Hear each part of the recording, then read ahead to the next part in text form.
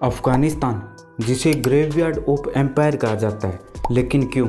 अगर हम अफ़गानिस्तान के इतिहास के पन्नों को पलटें तो हमें पता चलता है कि इस ज़मीन पर कब्जा करने के लिए हर किसी ने कोशिश की, लेकिन उन्हें सिर्फ़ खाली हाथ ही लौटना पड़ा। एग्ज़ाम्पल ब्रिटिशर्स, जिन्हें यहाँ भारी बेजती और लगातार हार के सिवा कुछ नहीं मिला। वही सोवियत संघ भी 10 साल तक युद्ध करता रहा, लेकिन फिर भी उसे हारे मिली। और अमेरिका भी 20 साल तक अफ़गानिस्तान में लड़ता रहा और फिर दोहा एग्रीमेंट करके अपनी जान बचाकर भागा। तो आखिर क्या कारण थे जिसकी वजह से अफ़गानिस्तान को ग्रेवयार्ड ऑफ़ एम्पायर कहा जाने लगा? 18वीं सदी में भारत के एक बहुत बड़े हिस्से पर ईस्ट इंडिया कंपनी का शासन था।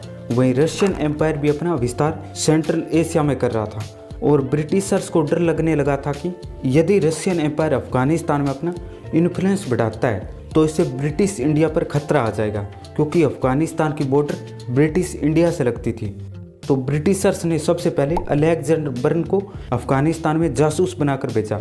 इन्होंने एक साल में अफ़गानिस्तान की कई स्ट्रेटजिक इंफॉर्मेशन के साथ रशियन गुप्तचरों का भी ज़िक्र किया। अफ़गानिस्तान में बढ़ते रशियन प्रभाव से अंग्रेज़ों को अब डर लगने लगा था कि कहीं रसिया अफ़गानिस्तान में ना दाखिल हो जाए।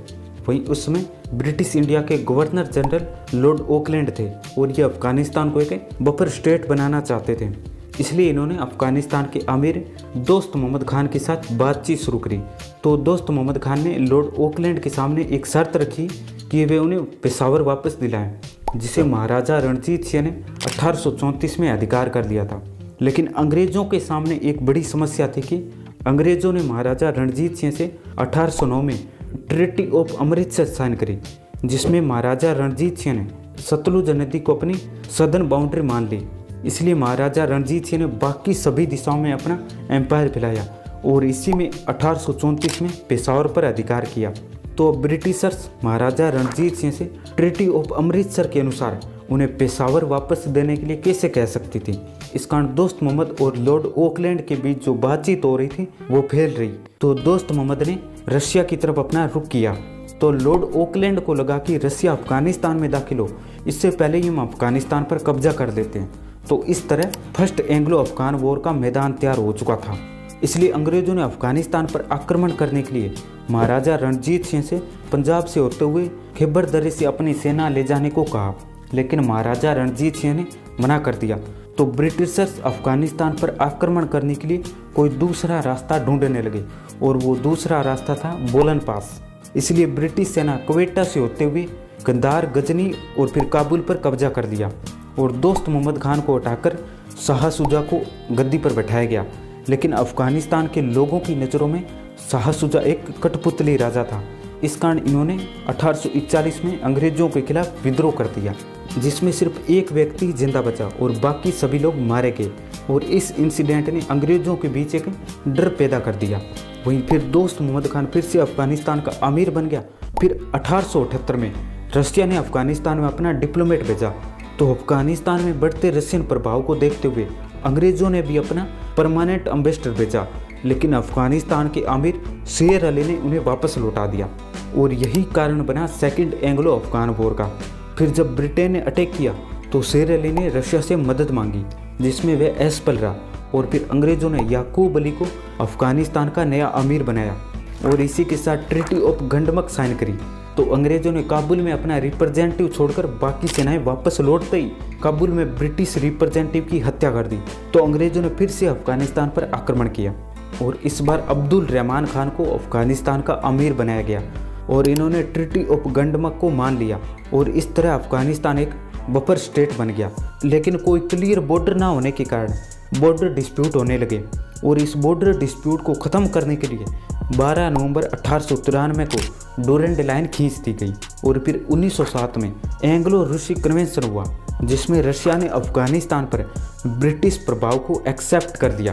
तो अफ़गानिस्तान के अमीर हबीबुल्ला खान ने जब इस कन्वेंशन की शर्तों को पढ़ा तो वे अपमानित और क्रोधित हुए, क्योंकि इस एंग्लो रूसी कन्वेंशन में अफ़गानिस्तान के अमीर को बाहर रखा गया, क्योंकि उस समय अफ़गानिस्तान की जो विदेश नीति थी, उसे अंग्रेज़ डिसाइड कर रहे थे। और इसके बाद अमनुल्ला अफ़गानिस्तान के अमीर बने तो इन्होंने 6 मई 1919 को ब्रिटिश इंडिया पर आक्रमण कर दिया।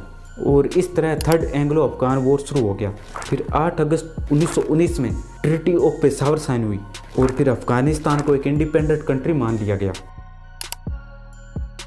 अफ़गानिस्तान के एक इंडिपेंडेंट कंट्री बनने के बाद अमनुल्ला खान ने अफ़गानिस्तान में मॉडर्नाइजेशन को बढ़ावा दिया, जिसमें अफ़गानिस्तान में वेस्टर्न स्टाइल रिफॉर्म और गर्ल एजुकेशन के कारण एक्सट्रीम इस्लामिक लीडर से उन्हें भारी विरोध का सामना करना पड़ा। इस कारण अफ़गानिस्तान में सिविल वॉर शुरू हो गया और फिर मोहम्मद जहीर शाह अफ़गानिस्तान के राजा बने। वहीं इस समय सेकेंड वर्ल्ड वॉर खत्म हो गया तो कोल्ड वॉर शुरू हो गया, जिसमें दोनों सुपर पावर यानी यूएसए और यूएसएसआर पूरी दुनिया में अपना इन्फ्लुएंस बढ़ाना चाहते थे। और इस समय अफ़गानिस्तान में एक कम्युनिस्ट पार्टी थी People's Democratic Party of Afghanistan. वही सोवियत संघ की कम्युनिस्ट सरकार दुनिया भर की कम्युनिस्ट पार्टियों को सपोर्ट कर रही थी। अब आप सोच रहे होंगे कि ये सब मैं आपको क्यों बता रहा हूँ?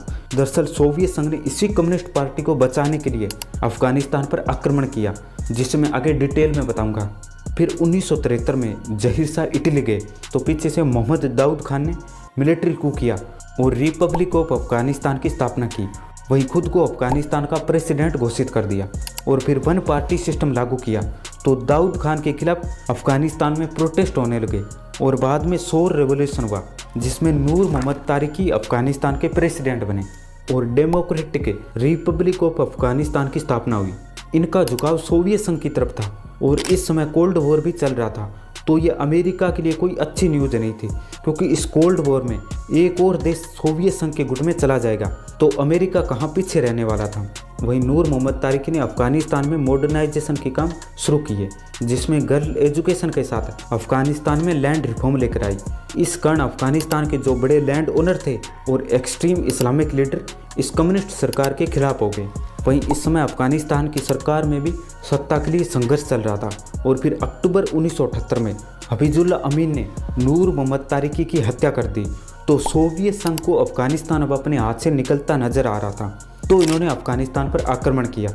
यहाँ पर सोवियत संघ का मकसद अफ़गानिस्तान में कम्युनिस्ट सरकार को बनाए रखना था।